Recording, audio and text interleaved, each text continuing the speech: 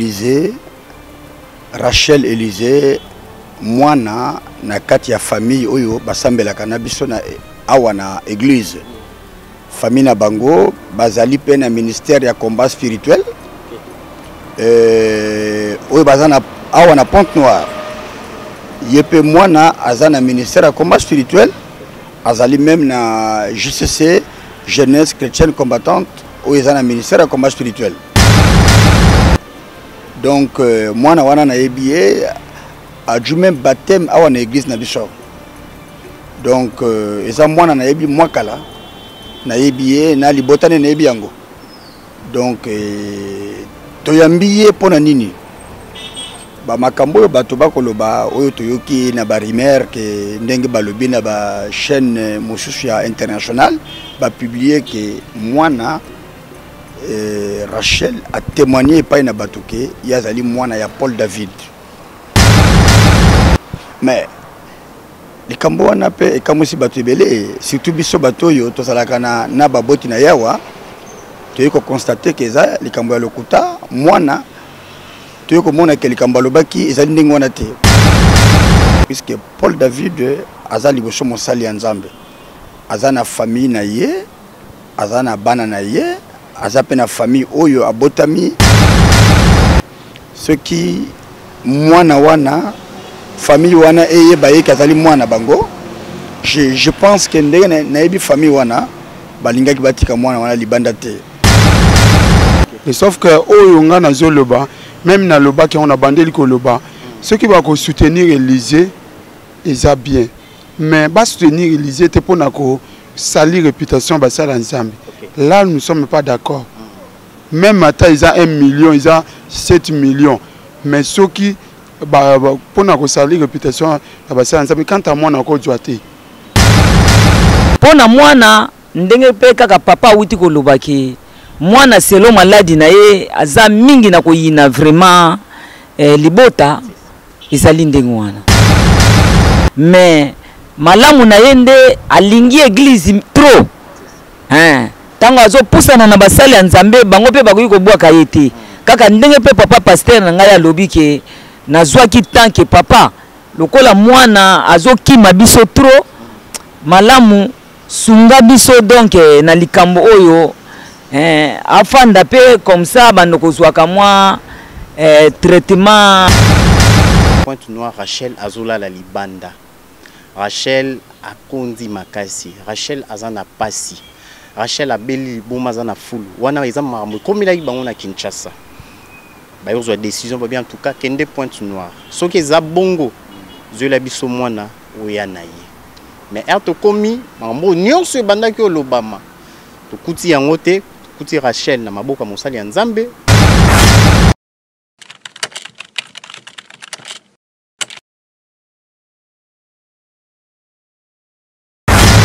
olingi omona nga wapi septième baga yeyo mireille tubadi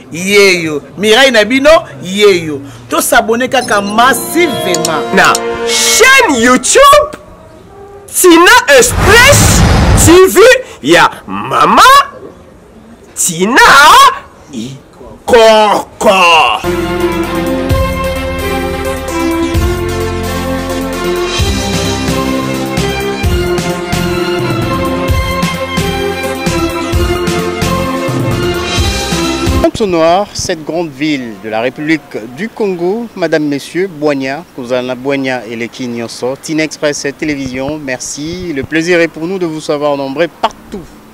pas seulement en République du Congo ou en République démocratique du Congo, partout en Afrique,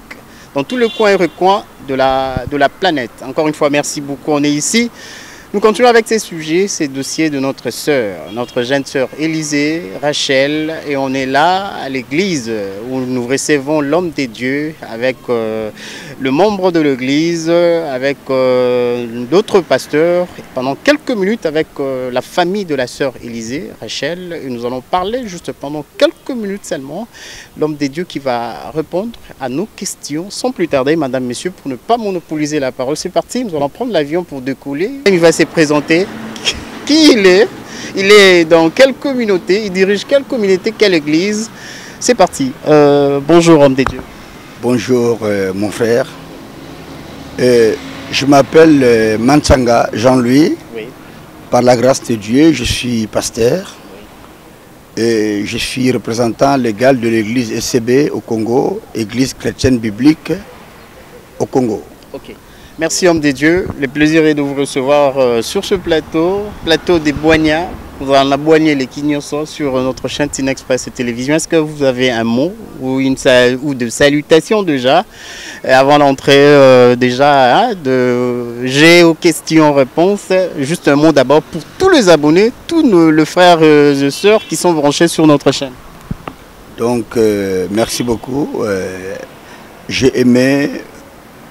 votre chaîne. Et en plus encore que nous voulons demander aux autres enfants de Dieu, ou bien tout le monde, qui a besoin d'être dans cet abonnement. Et c'est le meilleur même. Donc euh, je salue tout le monde en passant et je, salue aussi des hommes de Dieu, surtout qui sont à Kinshasa, euh, même la famille olangui je les salue, euh, en commençant par papa, président de la Fondation Olangui, euh, Alain Gabriel Olangui, et jusqu'à ses frères et ses sœurs, même papa Paul David Olangui. Merci homme des dieux, c'est déjà la bénédiction du pasteur. Euh, nous serons bilingues, madame, messieurs, français, lingala, déjà pour euh, satisfaire, répondre euh, à tout le monde, à toutes les couches, toucher tout le monde, partout, partout en Afrique, partout, encore une fois, merci. Donc, moi, le poteau, moi, lingala. mosali ya nzambe tobanda masolo tosepeli nanu koyambo mosali ya nzambe mosali ya nzambe toye kosolola na mama likambo oyo eti oningisa kinshasa likambo oyo eti oningisa kinshasa eningisi ya internet ti awa na pointe noire oyo oh, ti sikoyo solution boye comme tel emonani nanu te mais etikali na mitu ya bato ebele mhm. bamisusu mwana ya Paul David Olangi batikali nango ba misusu baza na ba doute ba misusu te aza mwana Paul David Olangi te ba misusu te il faut tokende kaka na ADN Kinshasa etikali bongo na kimia ndeko na biso ya mwasi aza lisusu kuna te aza sikoyo awa na pointe noire basango ye ebele na kinshasa elle est morte akufi te akufi te oyo aza boye Kasi biso tolongwe Kinshasa toyeya na Pointe Noire tokuti ye aza epai na yo aza na kimia aza awa na eglise d'abord mosala nzambe motuna liboso toyini toyeba oyambaki ye ndenge nini to oyebi elize ndenge nini mosali ya nzambe ok nayebi euh, elize Rachel Elise mwana na kati ya famille oyo basambelaka na biso na awa na église famille na bango bazali mpe na ministère ya combat spirituel euh, oyo baza na awa na Pointe Noire ye mpe mwana aza na ministère ya combat spirituel azali meme na JCC jeunesse chrétienne combattante oyo eza na ministère ya combat spirituel donc euh, mwana wana nayebi ye ajui meme baptême awa na église na biso donc euh, eza mwana nayebi mwa kala nayebi ye na libota nde nayebi yango donc euh, toyambi ye mpo na nini bamakambo oyo bato bakoloba oyo toyoki na barimer ke ndenge balobi na bachaîne mosusu ya international bapiblie ke mwana eh, rachel atémoigne epai na bato ke ye azali mwana ya paul david mais likambo wana mpe ekamwisi bato ebele surtout biso bato oyo tozalaka na, na baboti na yawa toyei kokonstate ke eza likambo ya lokuta mwana toyei komona ke likambo alobaki ezali ndenge wana te puisque paul david aza liboso mosali ya nzambe aza na famille na ye aza na bana na ye aza mpe na famille oyo abotami soki mwana wana famille wana eyeba ye ke azali mwana bango je, je pense ke ndenge nayebi famille wana balingaki batika mwana wana libanda te bon peut-être confusion ekozala tobenganaka bapapa spirituel na bapapa oyo baza biologique mais soki na plan spirituel nakoki kondima yango peut-être eza plan spirituellement babenga ba pasteur ba papa basali na nzambe mais na plan biologique boye mwana wana aza mwana ya paul david te bon yoka eloko biso tojuli ye na église ntango makambo wana eleki na kinshasa bato nyonso bayoki yango na nsima na yango biso mpe tokamwe tomoni rachel encore na ville ya ponte noire ah tomoni na ponte noire awa toza kose demande me mwana oyo ayawa ndenge nini mais etat tomoni ye nango asali ba trouble de comportement oppression mentale eh, akomi vraiment na oyo balobaka na langage ya lingala na lingala ki akomi moto ya liboma oh mais qu'est ce qui se passe na famille oyo ye akomeli famille na ye tante na ye bafrère na ye alingi kofanda kuna te alingi bango te alingi meme kuna te mais akomi kotrembale quelques jours na kati ya ville ya pointe noire c'est là où esali inquiétude na biso mais curieusement ye moko aye na église aye na ndako ya nzambe alobi te ngai naye na ndako ya, ya nzambe mais moto aye na ndako ya nzambe mpo na nini bokoboya ye tozalaki oblige ya kobenga bafamille na ye oyo bazali awa bafamille na ye baye balobi ya solo e, alingi kofana na biso te c'est la famille bango bato baakorde église eh, bagarde ye awa mais lokola biso tojuaki ye na eta wana tokoki kotika ye te d'abord de un faut kosunge na baprière etant que bapasteur et deuxièmement faut komema ye na hôpital basoigne ye puisque toconstate ke ya milimo mosusu ya mabe etungisaka mpe nzoto ya moto yango tobandaki procédure na ye ya traitement et je pense que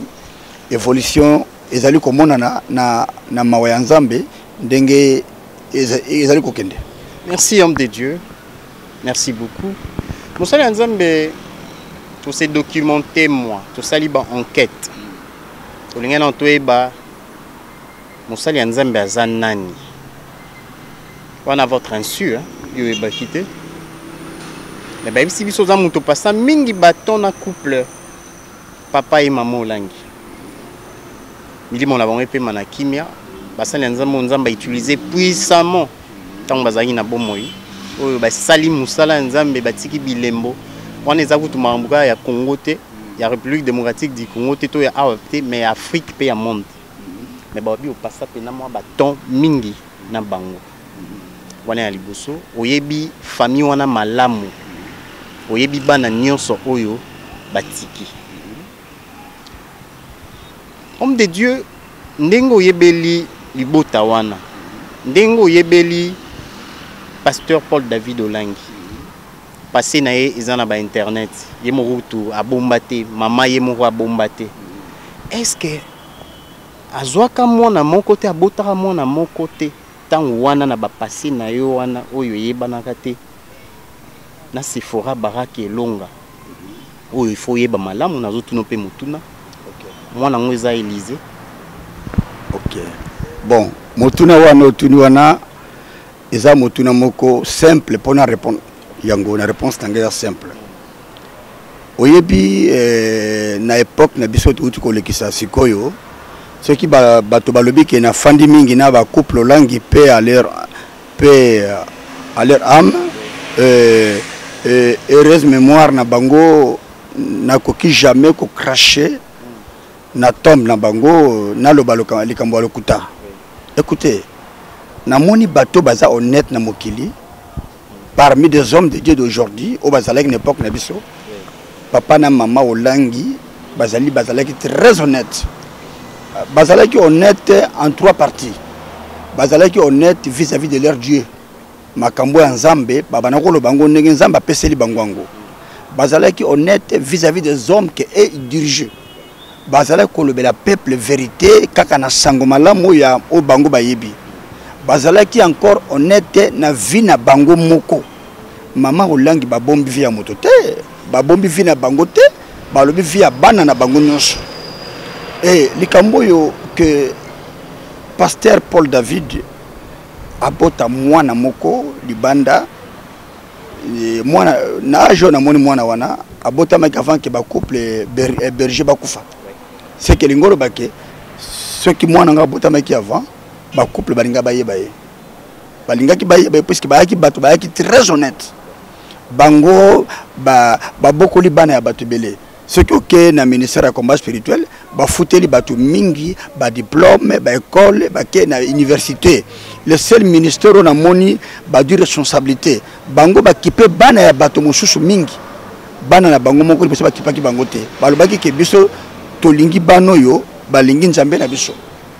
donc témoignage ya paul david kazala na mwana moko abotaki libanda ça c'est faux ngai nayebi yango te puisque nafandi plus de 25 ans na couple wana hein? le plus de 20 ans na couple plutôt donc à peu près 25 ans avant que nzambe abenga bango balongwa na mokili oyo donc nafandaki na bacouple berger nayebi bon nayebi bango etanke basali bayaki baparent na ngai spirituel bango baancadre ngai ngai nabali na maboko na bango ministère na ngai nayaki etanke pasteur epai na bango baancadre ngai e bango bafongoli ngai na mawa na nzambe baouverture mingi na ministère na bango natamboli monde entier mais témoignage oyo ya mwana wana rachel oyo notre sœur euh, rachel euh, ezali témoignage ya lokuta eza malamu te eza kaka bato nde bato balobi yango ou bien bon mwana alobi yango sur oppression ya mentale mais ezali eloko ya lokuta ezali ya solo te azali mwana paul david te okay. aza mwana ya paul euh, david te boyoki l'homme de dieu le pasteur ndenge a expliqué parce qu'a passé baton ayebi mwa mingi famille wana e famille olangi aza mwana paul david olangi te encore une fois merci tozo évolue tozo continuer azo rappeler nazo rappeler bandeko bozolanda biso na tina express euh, télévision mokili mobimba toza awa na pointe noire na république du congo wapi notre jeune sœur rachel oyo boyebi mingimingi na nkombo ya élysée aza awa élysée akufi te Elysee aza na balabala te, Elysee aza awa na maboko ya mosali ya Nzambe. Azozwa traitement à la fois spirituel et physique. Na physique, bolandaki ndenge tolingi tokende kutu contrôle euh, ba image oyo ndenge tozokende contrôle bolandaki ba image ndenge nini azozwa petit déjeuner na ye ndenge nini azo donc ndenge ba condition aza nango wana na église encore une fois merci tozo évoluer na mosali ya nzambe mosali ya nzambe Parent, mosali ya Nzambe, ofongoli motema, oyambi libota, oyambi mwana, botie na mwa moke oyo boza nango botieli ye déjà botie na ba conditions ba moyens azozwa nanu traitement juste pour des solutions ou une, une solution palliative avant solution finale oyo ezali ya kota mpena baexamen ya makasi batala motu et tout mais déjà eza en cours parce que azomela bakisi oyo ezopemisa ye wana eza nanu église mutu ezosala makambo wana nyonso avec le peu oyo oyo ezali oyo ezokende me mosali ya nzambe bokokende nango boye ti wapi parce que rachel aza na famille Papa maman baza na Kinshasa. Awa maman leki oyo aza maman na ye na grand frère na ye na bandeko mosusu baza o bango mpe baza na part na bango ya responsabilité église ezo jouer rôle na yango eza mpe na part na yango mais boye bokende na yango ti wapi eloko nango toyeba yango wana mosali ya nzambe ok pendant que La sœur Rachel afandi na biso awa na église c'est na autorisation ya, ya famille na yo bazali awa je, je pense que bokotuna bango bakoloba mais biso tokosalaka devoir biblique ngai najui comportement oyo na epai ya papa na mama olangi basungi bato ebele na vie euh, basali devoir ya bible oyo jésus alobi na matthieu 25 en commençant dans le verset 33 jusqu'en bas alobi boye ke nazalaki na nzala bopesi ngai kolia te nazalaki na bilamba te bolatisi ngai te nazalaki na boloko botali ngai te nazalaki na hôpital mpe bosungi ngai te parole wana eza kolakisa biso basali na nzambe ke na oyo nzambe azali kopesa na kati na lingomba tosunga mpe bato ya mpasi ngai namoni kaka yake azalaki mwana ayaki kolela famille mpe ezangi eleli yango tokosala yango mais eloko na kosuete biso eglise tosali na balimite mais nakoloba mpe na bato mosusu bamoni ke eh, baza mosika balingi basoutenir mwana wana puiske ndenge ezali wana boye tokosuka na niveau kaka oyo te fo bakende na ye mpe na, na baspecialiste ba, na ba oyo batala eloko nini esalaka sala barechute oyo e, bato wana mpe oyo bakoki kosala lokola biso basala yango bakutana na organisation oyo ekozala na niveau ya na bato baza baorganisateur bakopesa bango baadresse bakosala e, mpo na bajwa continuité etikali donc je pense que ça fait trois semaines toza na bango awa toza kozala contrôle ya docteur soki tozongi na contrôle semaine kaka oyo réponse ya docteur yango nde ekosala tozwa conclusion na famille toyeba qu'est ce que on doit faire mais ce qui est vrai nakosouhaite que il faut la, euh, la sœur rachel azonga na maboko ya baboti epai baza na kinshasa puisque awa ekozala vraiment mwa mpasi euh, na ndenge azali awa merci beaucoup homme de dieu wana eza oyo mosali ya nzambe ndenge azokanisa oyo mpe biso toyelaki nazoloba toujours toyaki na bénédiction ya baparent ya papa félix na mama lea toyaki mpona tozwa rachel tozwa élise tozonga nde na kinshasa mais ezalaki bongo mingimingi parce que ere babengi biso papa na mama lea babengi biso balobi toyoki sango tozwi basango na pointe noire rachel azolala libanda Rachel akondi makasi. Rachel aza na pasi.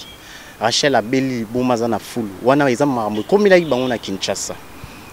Bayo zwa decision babi en tout cas kende pointe noire. Soki eza bongo zwela biso mwana oya na ye. Mais er tokomi makambo nyonso ebandaki olobama. Tokuti yango te, tokuti Rachel na maboko ya mosali ya Nzambe, baboti baza wana, ba parents famille eza wana. Mais boki ndenge mosala ya Nzambe a expliquer que famille eza na part nango pe ya mosala oyo il faut esala pe mosala Nzambe azo souhaiter kutu na ndenge makambo ezo kende soki toyoki minganga oyo toza na niveau ya traitement ebandi dossier na ye vraiment médical efongwami Rachel azongela ba parents na ye peut-être pona makambo mosusu. Encore une fois merci, merci euh, mosala nzambe na sola siko na bandeko. Oui, Sahel okopusana, tozoleka na biso mbala moko na mama leke bakopusana. Natuna bino mpe motuna na miso ya mosali ya nzambe eh, ya nsima tosola mpe na ba- basali ya nzambe mpo toyaka na quelques minutes tozotika libere mosali ya nzambe parce que aza na makambo ebele ya kosala e bayambi biso vraiment kitoko na pointe euh, noire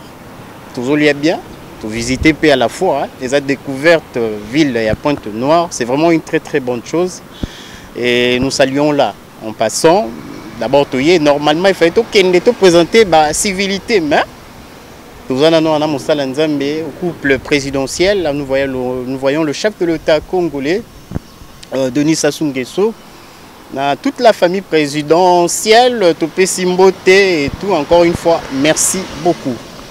Bon Israël. Oui, ça va. Vous allez bien Oui, nous allons bien. Ah, ok. Israël toza na ndako ya Nzambe esali biso esengo. Euh tosolola liboso ya na otuna bino kaka mwa mituna mike kaka etutu boyoki nde tosoli na papa Hum, parce que nasepeli yo oyebisa ye ngo bien tuka makambo ya ndeko na ngo oyo il faut tosangisa yango mpe na losambo lokola aza na maboko ya mosali ya nzambe esengo na yo nano eza ya couleur nini bon esengo na ngai eza makasi nde nalobaki ke toute maladie c'est un esprit okay. parce que meme na bible soki otangi omoni maladi mais jésus aye abengisi esprit c'est-à-dire toute maladie c'est un esprit mm. euh, esengo na ngai ezali que la sœur aza na l'église ça dit akozwa guérison tokozwa solution makambo nyonso tozo oyo tozoluka c'est parce aza na sa présence ya nzambe moko te akoki koya na sa présence ya nzambe azonga te ekili te naza na esengo d'abord esengo ezanga makasi euh, depuis naya na point noir Euh, c'est la toute première fois navanda na basala nzambe boye c'était une grâce d'abord pour moi mm. là j'ai béni dieu à cause de ça mm. naza na esengo ya, ya komona ma sœur aza na l'église et à chaque fois nayebi ke na l'église grâce ya nzambe ekitaka to grâce ya nzambe ezokita ekovisite ye quelque soit problème aza nango ekovisite ye quelque soit maladie aza nango mais naza na esengo Ntango meme ata na ke ndako meme aboyi biso alala na ndako te mais soki nayebi ke ndenge alala kuna aza na l'église basala nzambe baza wana je suis pour moi dans la joie. Merci, Merci beaucoup Israël. Israël nalingi osola na bandeko bazolanda biso parce que natuni meme mpe mosali ya nzambe motuna wana eza kilo eh? moni oyebi charge ya mutu Ah, eza facile te. Et surtout que soki azalaki moto oyo ba sens nyonso ndenge toyebeli Rachel Elisa azalaki mwana classe et tout na siko ndenge aza eza différent c'est vraiment deux choses deux mondes différents lelo ndeko na biso ya mwasi aza na mpasi déjà bakisi azomela ezosenga alia soki ameli azolia vraiment sérieusement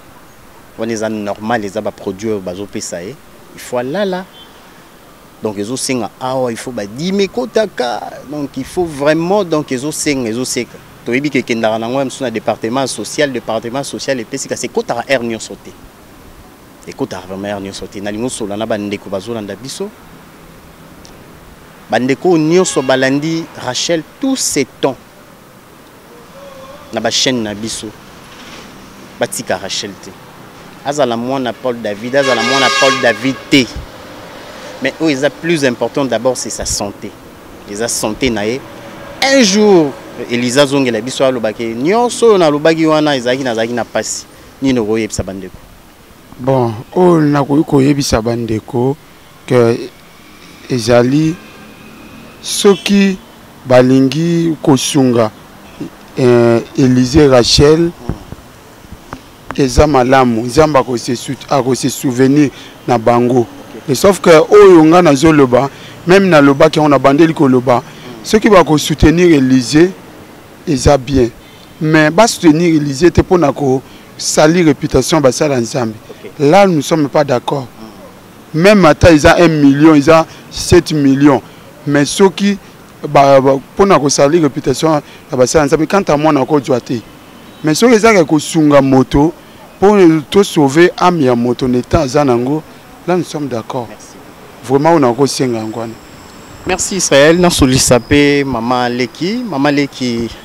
euh, esengo eza ya komonana lisusu na mama leki oui merci we akota mbala moko esengo eza komonana na nayo esu mama leki mama leki makambo ya boye tomonaka yango mpena mingi te e surtout na biso baafrika awa tomonaka yango mpenza te baeglize mingi toyebi balingaka bandimi kaka bapesaka me mondimi so azwi problème eglize ekangi ekuke wana toyebi eza ba verite toyebi balingaka bandimi bayaka batiaka maboko na bapanie etu mai yo mondimi so ozwi problème omona église te mais oyo tomoni awa na epa mosali ya nzambe d'abord ezosala ndenge nini mama leki wana motuna liboso ya mibale eza mama leki rachel elise ozondima ete un jour akobika Surtout ndenge aza na maboko ya basali ya Nzambe. Bon. Ngai nazali mama leki oyo abotami mpenza propre na mama Elise Rachel oyo bozolanda nga. Liboso na napesi bino mbote baoyo bazolanda ngai. Mpo hmm. na motuna otuni ngai mpo na kobika ya mwana kamwa moke mpe na zo nalandaki mpe oyo grande sœur na ngai alobaki na kin yaya na ngai alobi nayebi jésus nzambe oyo ya ngai akobikisa mwana na ngai nasepelaki na na liloba wana oyo yaya alobaki atangaki nkombo ya nzambe nzambe wana azali nzambe oyo Aza na guerison aza na makambo nionso tika esalama pe kaka lolenge ndenge yaya alobaki pe na kondima na ngai puisque eh, bolandi yango lolenge mwana maladi na ye eh, awuti koloba mpo na ngai me waakize ngai trop makasi me ngai Nakoki ko kozanga ko la foi te na Nzambe wana. Eh, eza ndenge wana. Merci beaucoup Mama Leki. Mama Leki, mais komona makambo oyo eglise etonga place osambelaka est ce que osatandaka na yango osatandaka mpena na yango ke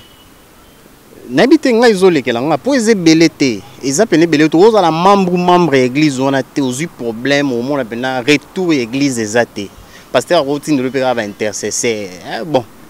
baintercesseur mpe soki balingi babondeli eleki mais sur le plan financier église ebandi obimisa ebandi osala eza ebele te eyosala ndeni mamaleki bon ngai mpona Basali ya Nzambe oyo azali pasteur na ngai bon na pasteur eh, nazolanda nayebi te soki eza na ba eglise mosusu me ngai eglise oyo ya ngai ndenge nazali awa na papa pasteur awa bon na combat spirituel eh, ndenge papa na mama olangi alakisaki bango papa pasteur ndenge azoloba ke alakisaki bolingo do bolingo wana oyo ye alakisaki bango do yango wana mpe donc bango basalaka yango mpe epai ya bato nyonso oyo bazali na kati ya etonga donc eponi motu te soki eh, oza na niveau nini ou eh, oza na se oza mondimi moko oza très pauvre ou oza riche donc basalela yo makambo na yo rapide mpo ozali riche eh? bongo bapauvre batika bango to ndenge ni te ah, eza bongo te eza bongo te donc yango wana ozomona eloko wana esalami na papa pasteur na ngai ndenge tozali na ye awa e mama mama leki eza na bato ebele na kinshasa balobaki ete bokokuta elize na balabala bokokuta elize na fulu mais toyo kuta Elysee na eglise bandeko mosusu balobi ke non hmm, aya kaka bokomi nde azalaki na balabala bakoti ye na eglise bandeko mosusu bakoloba bongo nini okoyebisa bango bon bato wana oyo bazoloba ke mwana azalaki na balabala eh, ezali na vie ezali te ke moto nyonso to akolinga yo ezali na bato oyo balingaka yo na bato oyo mpe balingaka yo te Ezali ndenge wana po na mwana, ndenge pe kaka papa awuti koloba ke mwana selon maladi na ye aza mingi na koyina vraiment eh, libota. Ezali ndenge wana mais malamu na ye nde alingi eglise trop hein. Tango azopusana na basali ya Nzambe, bango pe bakoki kobwaka ye te, kaka ndenge pe papa pasteur na ngai alobi ke nazwaki temps ke papa, Lokola mwana azokima biso trop malamu sunga biso donc eh, na likambo oyo eh, afanda pe comme ça bando kozwaka mwa eh, traitement moke moke nano epai na yo eza lolenge wana mais na bato oyo bazoloba nde mwana azalaki na bapoubele bon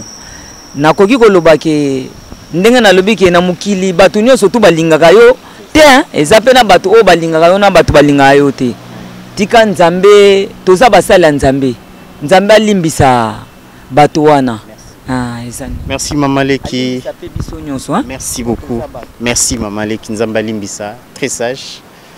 motuna mosusu eza te merci na autorisation na permission ya mosali ya nzambe nayebi te ndala totuna to mpe basali ya nzambe ata motuna moko moko nakotelema we ouais, ça va ok merci tobanda na papa tokende boye merci beaucoup madame monsieur ce sont là les aléas les imprévus donc on est là en plein tournage tosolana basali ya nzambe toza na église mbote papa oui mbote Eh, papa moi présentation na bandeko nyonso bazolanda biso toyini toyebana etonga awa oza nani osalaka nini précisement ouais, d'abord nazali pasteur nsambu zanzambi andré nazali pasteur oyo parmi bapasteur tozali awa oyo tozali na nsima ya papa na biso ndenge auti koloba okay. merci papa papa Boyambi Elysee. Mbe alobi meme eza apesi ba mutu na mutu ba tâche na ye mususu na tongo apesaka ye kisi mususu apesaka ye biloko et tout toye toyeba nanu po tomonaki yo tomoni yo pardon na ba kisi yo mutu oza charge ya mambo ba kisi na ye akomela ou comment Oui, euh, euh, na- nazongi moke nsima nakopesa ba auditeur nyonso to ba telespectateur bazolanda napesi bango mbote mingi na basali na nzambe église corps de christ napesi bango mbote na ministère ya combat spirituel napesi bango nyonso mbote na président na biso papa alain gabriel napesi bango nyonso mbote baseteglon yango wana lorsque toyambi eh, mwana na biso Elise alors euh, pasteur alobaki na nga ke charge oyo napesi yo parce que naza pour le moment résident awa pour un temps okay. voilà alors comme nazalaka awa nga sikoyo mpe nakosuivre baactivité mosusu spirituelle sur place parmi biso nyonso to bapasteur toza kosala suivi ya bandimi alors nga nde naza awa nakolanda ba prière par exemple ya butu alors ntango toyambi ye en tout cas mbo nzambe aza nzambe oyo asalaka makambo ndenge mosusu pasteur awutaki koteya na teme moko toza nango sur le pentecote la pentecote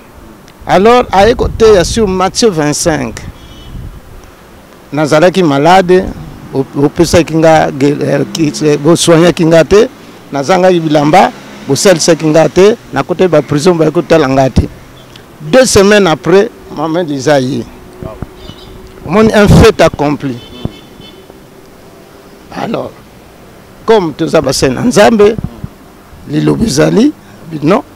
tika toyamba ye eloko ya liboso nasalaki nazwi ye na ntongo na kati se suki na kati se suki pota bapota bapota mpenza ezalaki alors basili abi non comme ça hein? tokozala na ye awa na soin ndenge pasteur alobi alors moke sikoyo fale comme etape ya, ya hôpital parce que yo moto banda komisake bakisi tout ça alors qu'est ce que je fais ntango avant tout napesa bakisi nakopesa ye bilia prière na prie na prie mpona baproduit esili na pesi donc ni ndenge wana toza na koleka alie donc aza na kolia mingi mpasi bakisi yango oyo naza nango soki tomona bakisi oui c'est ça akoki kolakisa cameraman na biso soki akoki na kotala eza na bamedecin bayebi baproduit oyo hmm, baproduit oyo produit mosusu yango melex hmm, eza na produit mosusu eza na produit mosusu oyo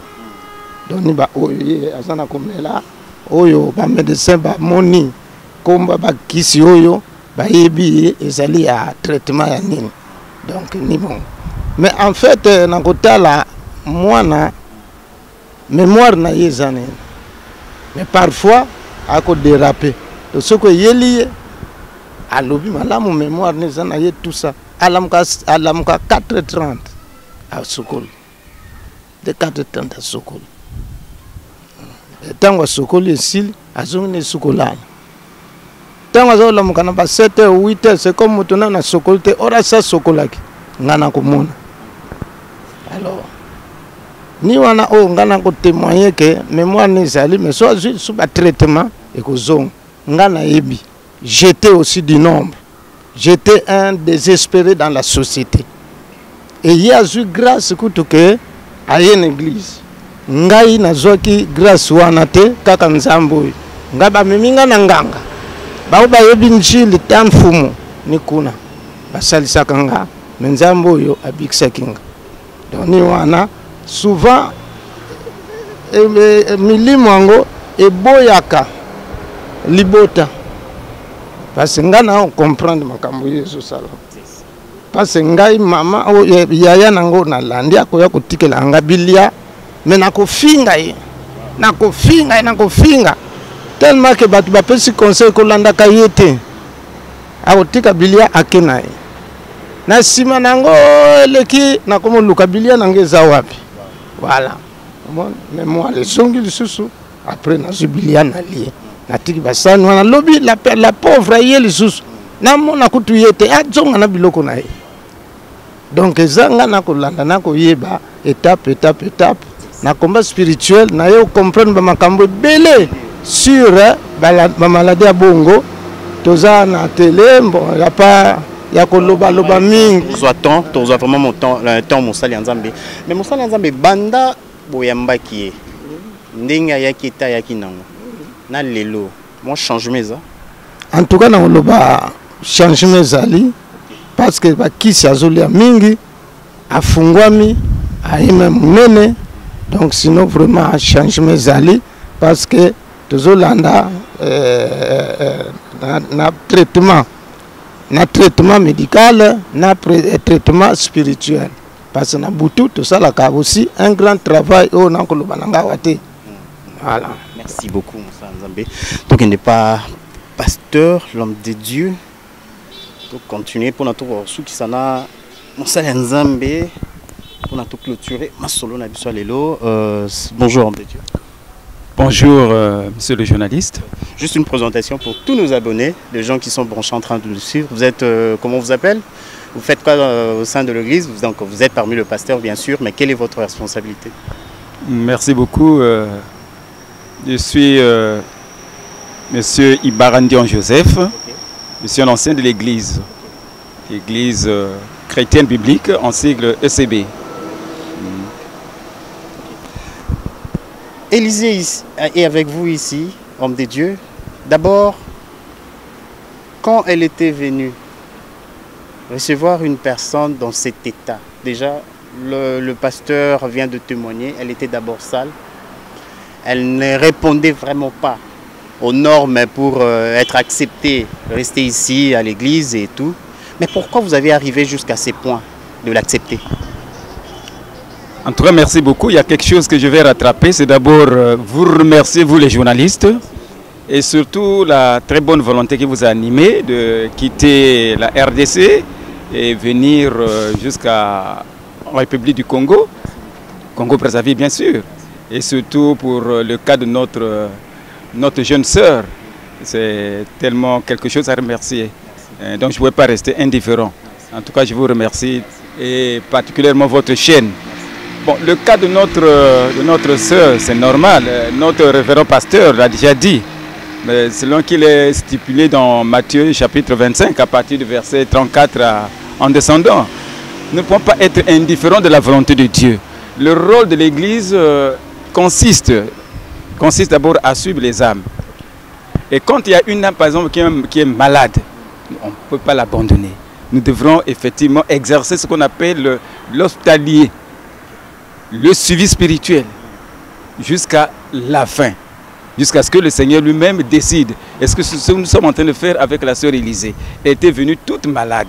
Toute malade, il ne s'agit pas de n'importe quelle maladie. Il s'agit d'un trouble de comportement. Vous savez, quand quelqu'un est animé d'un trouble de comportement, il y a beaucoup de choses. Il y a beaucoup de choses qui se manifestent. Et il y a d'un côté les esprits, les esprits qui l'ont hanté, et de l'autre côté également, et il y a l'aspect physique. Il y a l'aspect physique. Sans vous interrompre, homme des dieux, donc la sœur est possédée en quelque sorte Bon, à la voir, effectivement, quand elle était venue, c'est-à-dire qu'elle était hantée. Elle était possédée. Donc, c'est-à-dire hantée, ça veut dire qu'elle était animée par des esprits impurs. Par des esprits impurs elle est venue dans, un état où, si vraiment ce n'était pas l'hospitalité plutôt exercée par l'Église, je crois qu'elle ne devrait même pas avoir la place au sein de l'Église. Mais comme euh, au niveau de l'Église, nous enseignons l'amour, nous prêchons l'amour, comme Dieu le même, notre Dieu, le Père Céleste, c'est un Dieu d'amour. Et c'est ce que dans, dans ce sens-là, dans ce contexte-là, que nous avons, nous avons accepté notre sœur Élisée euh, telle qu'elle était venue. Maintenant, euh, au fil des temps, au fil des jours, nous constatons que euh, il y a une euh, légère amélioration. Une légère amélioration parce que ce n'est pas, pas de, but en blanc que quelqu'un qui est venu vraiment, comme qui dirait, cassé par, emporté par l'esprit de la maladie, tout consort, ressorte rapidement ou bien retrouve rapidement son état. Son état. Mais je crois que par la grâce de notre Seigneur Jésus-Christ Nazareth, notre sœur est en train d'aller vers la guérison à, voir déjà son état actuel. Elle se comporte maintenant très bien. Elle est maintenant, c'est-à-dire qu'elle euh, euh, est simple de garder sa propriété, alors que hier, c'était pas facile de se rapprocher d'elle. Il n'était pas très facile de se rapprocher d'elle. Donc, euh, à la voir dans la rue, on pouvait dire que non, elle était déjà elle commençait déjà à délirer tout sort Mais aujourd'hui, vous pouvez vous approcher d'elle, vous pouvez dialoguer avec elle sans problème et tout. Je crois que c'est la main de l'Éternel au travers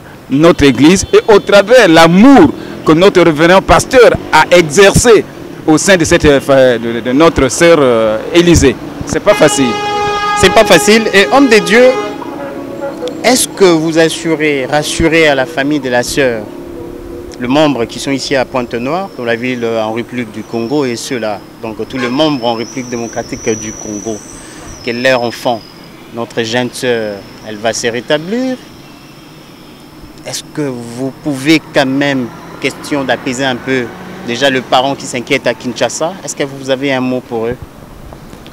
Bon, mais je crois que euh, je n'ai pas trop de commentaires à faire là-dessus parce que déjà votre présence, votre présence explique tout. Le fait que vous l'avez déjà interviewée elle a parlé. Donc quelqu'un qui est dans un état délaissé ou bien emporté par euh, le, poids de la maladie ne pouvait pas s'exprimer comme elle a fait hier. Donc c'est déjà un témoignage, un témoignage qui rassure les parents au niveau de, de, Kinshasa que la, fille est vraiment en bonne santé, à très bonne santé. Et que demain, dans les jours à venir, dans les jours à venir, sinon les mois, par la grâce de Dieu, par la volonté du Seigneur,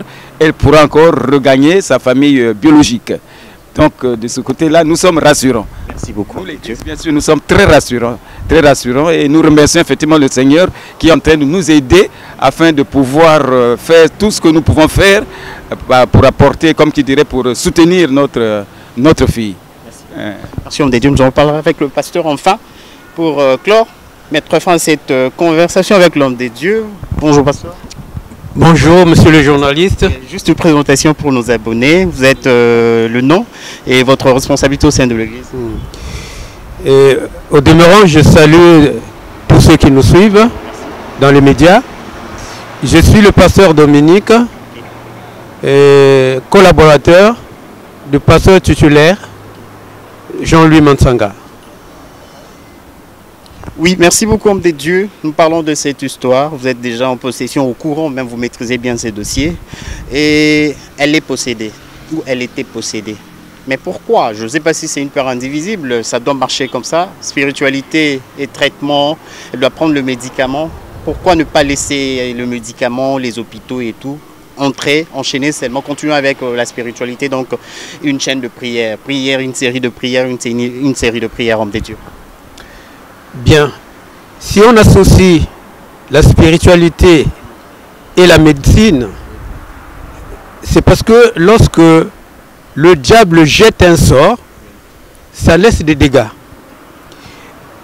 On peut prier, l'esprit peut partir,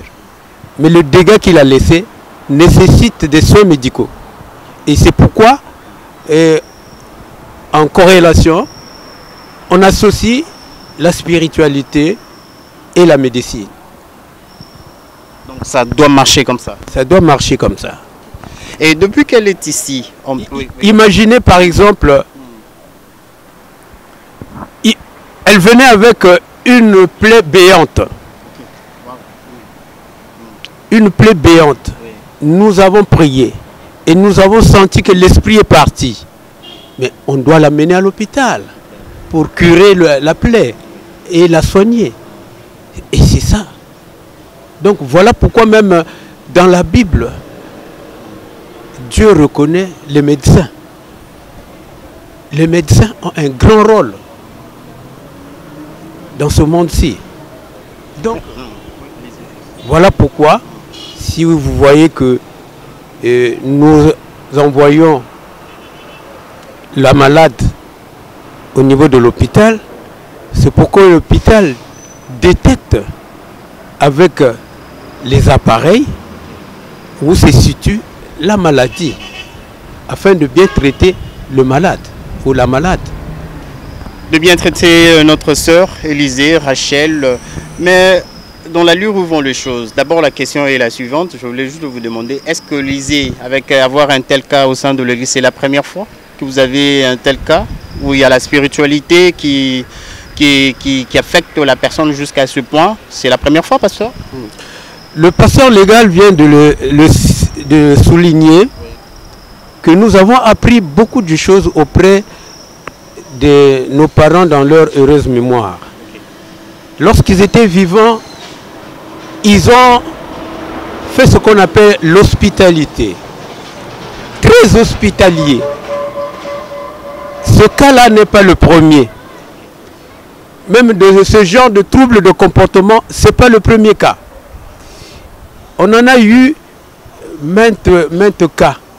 hein, mais qui sont arrivés à l'amélioration. Donc, en dehors de cas de troubles de comportement, même des cas de maladie, beaucoup on a interné ici. Beaucoup on a interné. Tout dernièrement, il y a un papa qui dormait là où elle dort là, qui avait l'anémie sévère et la glycémie, on avait constaté qu'il avait un début de prostate. Mais associé le, à la médecine et à la prière, le gars a recouvré la santé. Le papa était venu mourant. Il était très mourant. Mais suite à ce qu'il a subi ici, le docteur venait ici, le traiter ici. On l'a d'abord amené pour faire des examens et tout. Et quand on a fait ce bilan, donc le, docteur venait le traiter ici.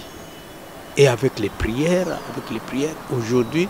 le, le gars a regagné sa maison, il est en bonne forme. Donc euh, ce sont des choses qui arrivent et que vous répondez positivement et à la fois avec euh, l'aide du Seigneur, il y a, il y a, il y a, il y a quand même des solutions. tokomi na suka na mosali ya nzambe mosali ya nzambe libota elobi banganga nzambe basali ya nzambe balobi mosali ya nzambe eske oza na mwa liloba ya kobakisa Bon, liloba ya kobakisa ezali kaka moko. Euh, je crois que tolobi yango na langue moko oyo bandeko nyonso bayokaka mingi bayoka yango euh, puisque kishasa eza monene ezalaka na balangue ebele mais lingala ezali euh, mais ce qui est vrai oyo touti koloba que na biso bato ya eglise na famille na bino ba journaliste tozala kaka unis mpo na kosauve notre sœur euh, Élysée donc euh, biso il ne faut pas lui même faire puisque ça ça peut attirer même un problème après insulter les hommes de Dieu calomnier les hommes de Dieu et diffamer le nom des hommes de Dieu, c'est pas normal. Donc il faut zonga na réalité et moi na bicho Élysée, famille na ye ezali. Papa Paul David, pasteur Paul David Olangi azali papa ya sœur Élysée te biologiquement. Totika ko créer litige wana po ekozala malamu te. soki bato nazongeli mwa point moko moke ya koloba puisque bato balobi likambo ya adn car en fait c'est quoi